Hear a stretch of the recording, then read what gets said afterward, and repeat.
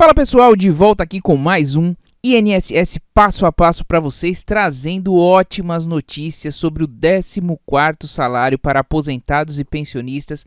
Agora vai, a gente vai trazer o andamento, a perspectiva, quem vai ter direito, as datas, tudo, o vídeo mais completo sobre esse assunto para você. Antes disso, se você é novo aqui, eu quero convidá-lo rapidamente a se inscrever no nosso canal, ativar o sininho de notificação e INSS Passo a Passo, o maior canal sobre INSS e demais benefícios governamentais do Brasil. Saiu algum direito, algum benefício para você?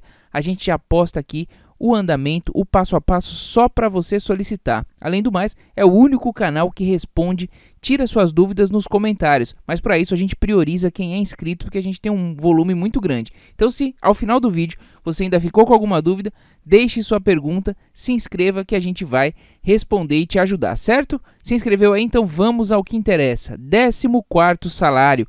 Aposentados e pensionistas 14 agora vai. Excelentes notícias. É o seguinte, pessoal. A ideia legislativa do 14 salário atingiu mais de 60 mil apoios e se transformou em uma sugestão legislativa que foi debatida pelos senadores.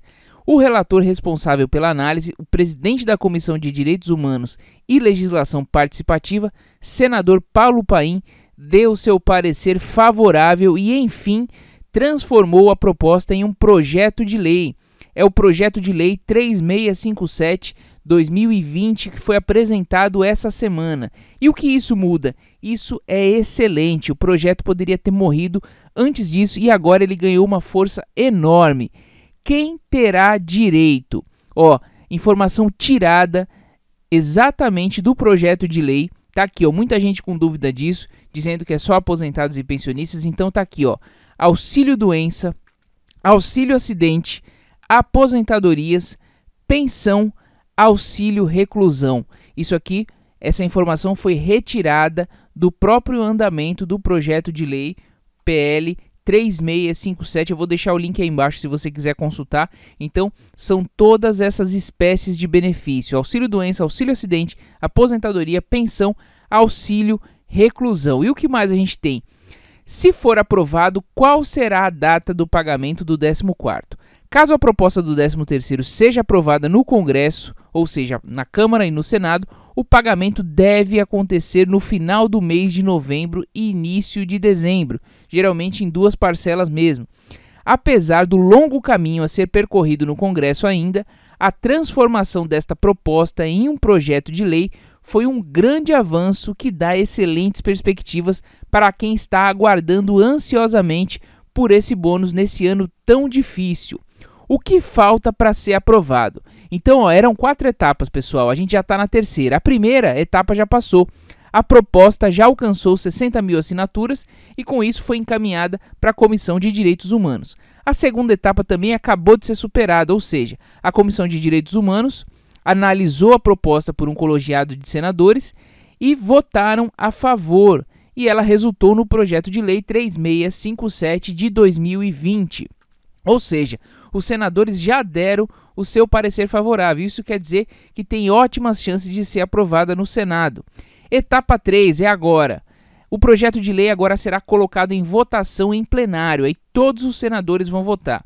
Se for aprovada, lembrando que precisa de maioria simples, será encaminhada à Câmara para também ser votada pelos deputados por maioria simples. E aqui, sendo aprovado no Senado e na Câmara, a etapa 4. Esta é a última etapa do projeto começar a valer. Após a aprovação do Senado e da Câmara, o projeto é enfim enviado para o presidente da República, Jair Bolsonaro, que decide se veta ou sanciona a lei eu fiz um esqueminha aqui, ó, para ficar fácil para você. Então, geralmente as pessoas acham, ah, depois da Câmara vai para o Senado. Depende. Quando o processo nasce no Senado, né, o projeto de lei, depois ele vai para a Câmara. Quando ele nasce na Câmara, depois ele vai para o Senado. Então, este nasceu no Senado, ele vai para a Câmara. Então, sendo aprovado aqui, sendo aprovado aqui, ele vai para o presidente. E o presidente pode sancionar ou vetar. O problema aqui, se ele vetar inteiro ou em parte, volta de novo aqui para o Congresso e aí pode atrasar. Mas considerando o auxílio emergencial que subiu a popularidade do presidente, esse ano tão atípico é uma grande oportunidade tanto de ajudar os aposentados e pensionistas nesse ano tão difícil, quanto de aumentar a popularidade tanto dos senadores, quanto dos deputados, quanto do presidente da República. Então, agora, transformado em um projeto de lei, a chance disso dar certo é muito grande. A gente está acompanhando aqui em tempo real. Se você quiser saber todo o andamento do 14º salário, a gente vai acompanhar aqui. Se você ainda não é inscrito, se inscreva agora, ative o sininho de notificação. Se você ainda ficou com alguma dúvida sobre esse assunto, deixe nos comentários, mas faça a sua inscrição antes que a gente prioriza quem é inscrito, certo, pessoal?